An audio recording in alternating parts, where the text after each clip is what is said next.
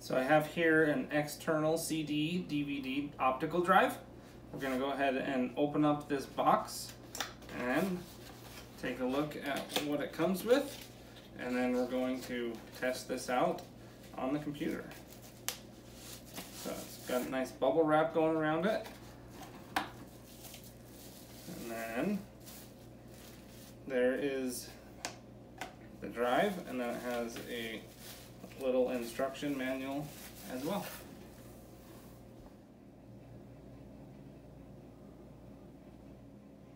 So a really nice feature about it is if you flip it over to the bottom, you can see it's got a little cable cord organizer that's going to keep the USB plug up and out of the way for storage when you're not using this. And then when it comes times to use it, you can just go ahead and pop the cord out and it's ready to go. Another nice thing about it is it has a standard USB-A and then it also has a new, more modern USB-C.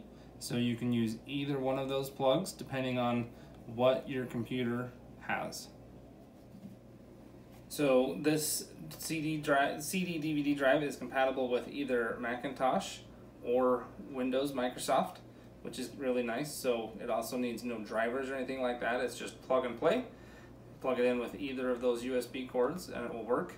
It is also a writing capability, so you can write DVDs as well if you need to. It has a USB 3.0 standard, so it's 5 gigabits per second, which is going to be really nice. You're going to get high transfer speeds. It is also super thin and portable. You can see it has a very small form factor, so it's going to be easy to take with you on the road if you need to take it on the road as well. Okay, so I went ahead and plugged in this DVD drive to the USB on my computer. I've got a DVD disc, DVD disc loaded into it, and I'm going to go ahead and just close the drive. And without installing any drivers or anything like that, the computer should recognize that I just installed the DVD drive, DVD, and it should pull up the DVD and start playing the movie immediately. So we're going to see if that works. And it looks like it immediately started playing the movie. And the menu will pop up here in a minute. I'll be able to watch the movie from this external DVD drive. So you can see the movie is working really good. It looks really nice. This portable DVD player is really, really convenient.